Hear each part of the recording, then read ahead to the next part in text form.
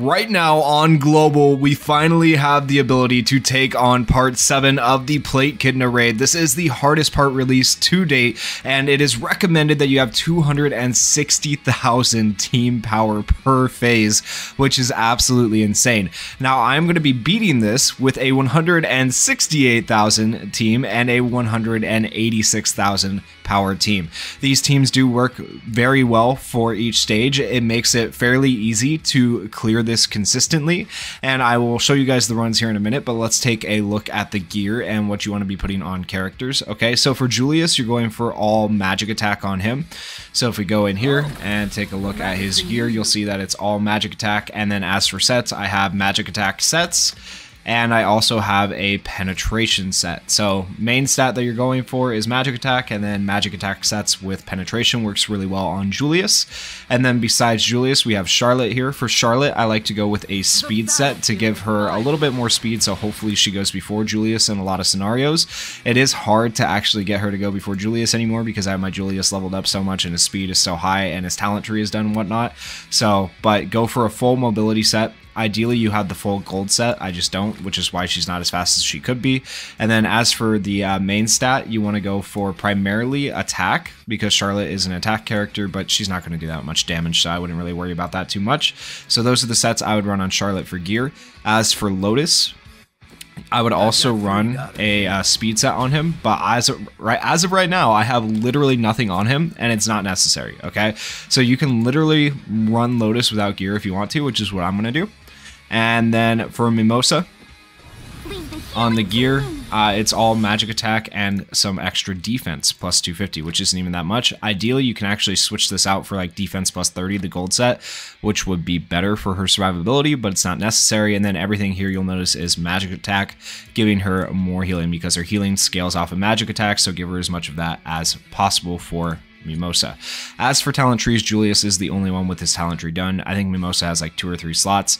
And if you want to maximize damage with Julius, I guess I can show you his talent tree real quick.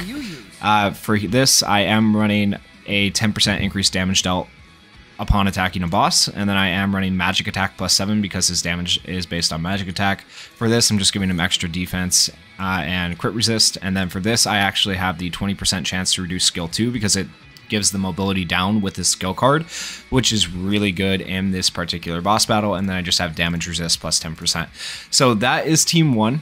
And that is the gear for Team 1. Now, Team 2 is the team that I'm really kind of proud of because I feel like not a lot of people are taking this approach or this strategy, and it works really, really well. So, we have a defensive healer, another defensive healer, and a barrier character who's also an attacker, and then Asta for the main damage as a counter attacker, which is really interesting to see. So, basically we have uh, Noelle and Kahono put barriers, and then Noelle is going to put her uh, Blessing of Water on Asta. Asta is just going to counter like every single attack that the enemy does and do damage over time. It does take a little bit longer with this team, but it works out pretty well. As for gear on Asta, I'll show you what I have. I have all attack gear, so every single stat here is attack. Ideally for the substats, you want attack percentages if you can get them, right? And you can see that he has 19,000 additional attack. As for sets that you have on him, I would go for an attack set, ideally a gold attack set, but I don't have that on him. I have a uh, crit damage set for using a special skill, which is really good on Asta, obviously, and then a penetration set. So, like, not the best sets, but also not the worst. So that's pretty decent on Asta. And then as for the talent tree, I do actually have his talent tree done as well. I went for damage dealt plus 5% and crit damage plus 10%. You could always go for the boss damage and stuff like that too, uh, which would be a good option. So you could go for the damage dealt from a boss, and then you could go for crit damage which is an option you could go for. Then I have defense and defense plus 4 and crit resist plus 4. And then I also have the skill 2 cooldown and I also have the accuracy and penetration buff to give him a little bit more damage. So that's what I'm running on Asta for my talent tree. And then on Kahono, Kahono is a really interesting character. So for gear wise, I just have a bunch of HP on her because her stuff scales based off of HP. So you could run all HP stuff like this, or you could build like an HP type set and give her extra HP and stuff like that. I, I just prefer to do it this way, it's just simpler this way. And she does pretty well for barriers and healing with this type of build. And nothing's done on her talent tree because she's relatively new. For Noelle, on her gear, it is all magic attack. I have a regular magic attack set. Once again, would be better if you have a gold set. I have a crit resist set just to give her a little bit more survivability, and I have a penetration set. Eventually, I'll replace the crit resist set, but for right now, it works pretty well on Noelle. And you'll notice the main stat once again is magic attack. We're adding 19,000 magic attack to her. And then the talent tree, I do have her talent tree done as well. I just have increased magic attack to give her bigger barriers, and then I also have increased crit rate which it doesn't really matter. You could go for whatever you want on her. Defense plus 20% and grants defense. Once again, the same things that I always run. And then on this one, I have damage resist and I have the skill 2 cooldown once again because I want to be able to barrier as much as possible. You'll notice that whenever I can have the skill 2 cooldown chance, a lot of times I'll pick it. The only other one I'll really pick on the support tree is going to be like the special skill uh, gauge filling back up faster. And then for Charmy, it's pretty similar to Kahono's build, just a bunch of HP because her stuff scales off of HP as well, and nothing really done on her talent tree either. So those are the two teams I'm going to be running. The first team is going to be a lot quicker, a lot easier than Team 2. Team 2 is going to take a little bit. So with all that said, let's get into it. The Phase 1 boss starts as a green debuffer, but each time you damage Plague-Echidna in either phase, they change the type that they are. So keep that in mind. So we're going to go ahead and we're going to do uh, defense down right here. Okay, change to a green type, right? So keep that in mind if you want to maximize your damage. Now we're going to go ahead and we're going to do mobility down, get rid of whatever mobility he has right there. All right, so now mobility is down. Ideally, you land the double defense down with Charlotte and the crit resist down, which is a lot better, but we didn't this time, but that's okay. We'll go ahead and do our skill with Lotus here, try to reduce speed. Got incapacitate and reduce speed, which is helpful. Now we're going to go ahead and do extend buffs potentially on Julius and give increased damage resist and stuff like that.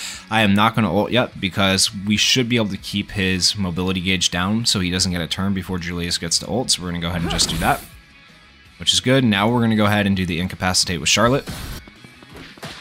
And you can see Julius did 53,000 right there. We have the incapacitate. Now we're going to go ahead and do concentrated attack, which makes our attacks hit like crits. Okay. So now if we take a look at the enemy, they have concentrated attack for one turn, they have reduced damage resist, incapacitate, reduced crit resist, reduced speed, reduced speed. Okay, or reduced defense, sorry, was that last one. And you'll notice he still has not gotten a turn, and we're going to stop him from getting a turn again here in a second, so let's go ahead and use our ult this time. 188,000, and notice we do, uh, depleted his mobility gauge again, which is a little bit insane. Go ahead and do a normal attack with Mimosa. Do defense down with Charlotte and we'll do mobility depletion again, so his mobility gauge just goes away. it's it's so dumb that you're able to just do this, right? Okay, he just never really gets a turn and you just win the game. Alright, now we'll go ahead and do this. And we should be able to extend debuffs with Lotus coming up here. We'll extend debuffs. So now all the debuffs are extended with the mobility down and stuff like that, which is insane, right? We're going to go ahead and heal with Mimosa here so it doesn't count as an attack right? So it doesn't fill up the gauges uh, faster. We're going to do defense down.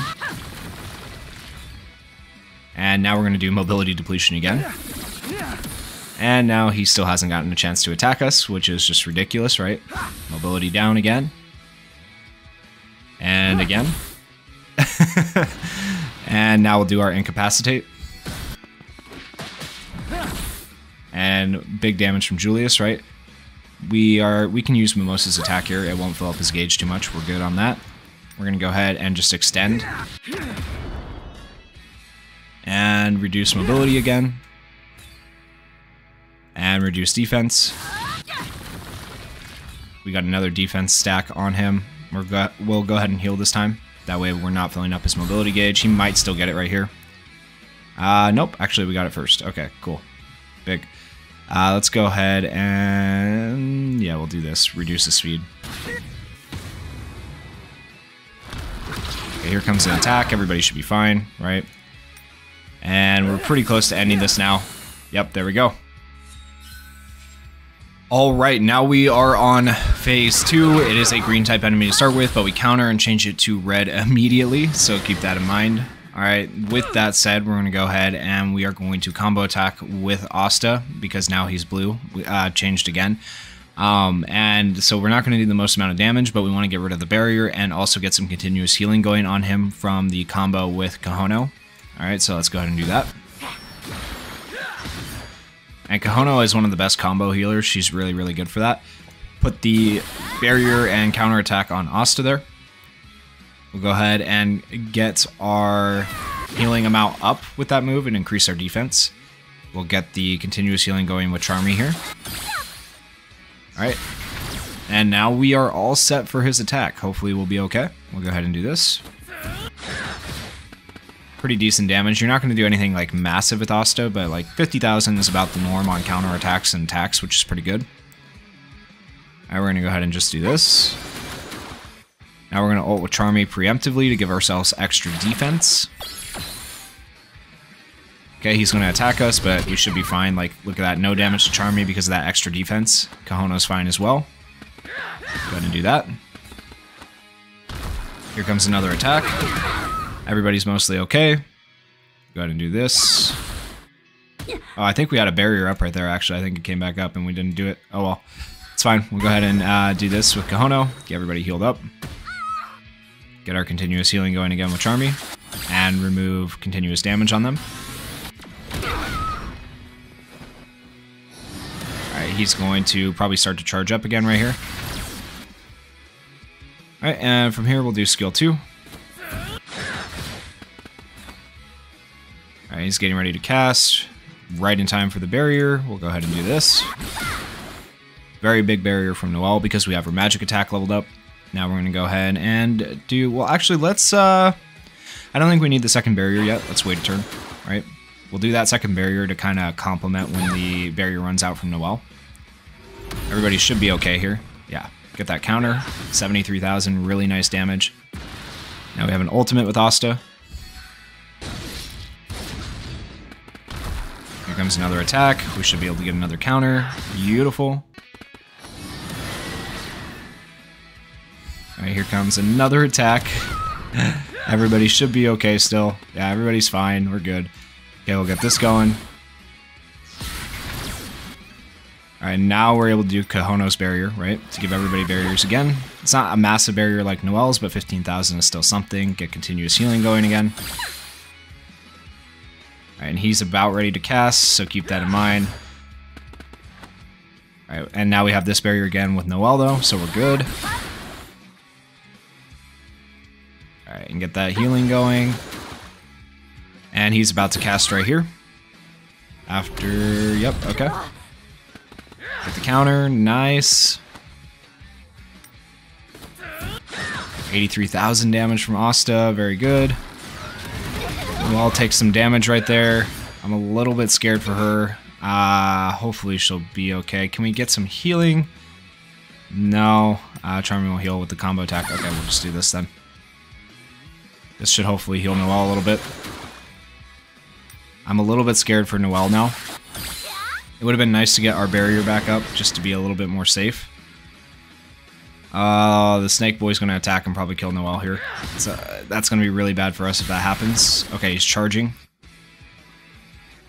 Okay, ah, why is our barrier still not back up, bro? Yo, this is not okay, and we're still away from our ult with uh, Charmy. We need that ult. Okay, well, Alright, we're still okay for now. Uh, we'll get this barrier up at least. That's good, that's good. That'll help a little bit. Alright, and we'll get this. Should heal Noelle. Good. Here comes a big attack, though. Oof. Okay. Alright, we have gotten through the, the danger part, I feel like, for the most part. Hopefully. Hopefully I'm not speaking too soon. We'll see. Alright, there we go. Everybody's kind of low, but we have our barriers finally, right? We have our ultimate with Noelle. We have our ultimate coming up with Charmy for healing. So I think we're in a decent place. Let's go ahead and... Yeah, we're going to save Kahono's ult. We're not going to use it yet. We'll do that healing. Do Charmy's ultimate. Give ourselves some extra defense for two turns. Alright, we'll use this with Asta. Okay, the barrier's gone. Alright, we'll ult with Noelle here.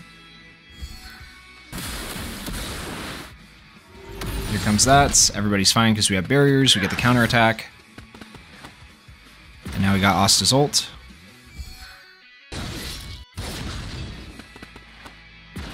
Right, we do have Kahono's healing, and Kahono's will give HP and then grants all allies increased attack. Uh, I don't think we necessarily want to use that yet because like nobody's super crazy low. So we're gonna wait a second. We will go ahead and use this though, preemptively, because it'll heal. Right, yep, looking okay. Here comes another attack. Don't kill anybody. Literally killed the one person you don't want him to kill. Of course you did. Uh, so from here, I guess we're relying on Noelle to try and get the damage in, which is going to be a little bit more rough. Alright, so that's the way it is, I guess. Can't do much about that. Uh, we'll just go ahead and do this to increase our healing next turn. Alright, from here he's going to attack. We should get the counter. Right, but not for a lot of damage. Oh, this is going to be so rough at this point, but Noelle should be able to do some damage, right? Alright, we're just going to do whatever we can. Whatever we can at this point. Makes it take way long. Normally, Asta doesn't die. Um, just really unfortunate that he did this time. Alright, here comes a big attack. Oh boy. Uh, okay, everybody else is fine. We can just do this again. Oh my gosh, it took our barrier away on Noelle. Hello? Okay. Let's get the healing going, I guess, on everybody. Do this. Noelle might die. That's crazy. That's crazy. Okay. That's super unfortunate.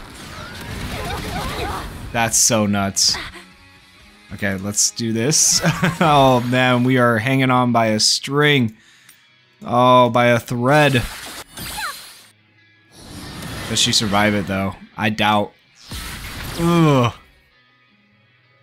No barrier from Noelle yet. That's very, very rough right now. We do have increased defense. It might be enough. It might be enough to get us there. Like I said, normally this doesn't happen. Normally Asta survives, right? So this is just like a very rough run, but I think we'll still be able to get it done here. Alright, we did have everybody's barrier there. We get the counter for a little bit of extra damage. Get the continuous healing going. Alright, we'll do this. Alright, he is red type, so he's barely going to hurt anybody right there, which is perfect. Now we can ult with Noelle. 37,000. Like, we're really close now. We're really, really close now. Get the counter. He's off of blue type. Back to red. Now he's to green. Alright, he's gonna start charging again. oh, man. Uh, barriers. Alright, here we go. Here comes the attack. Nice. Like this team, like look at the sustain. It just takes forever, but it could work pretty well. And another attack. so much survivability though. Get another barrier going with Kahono.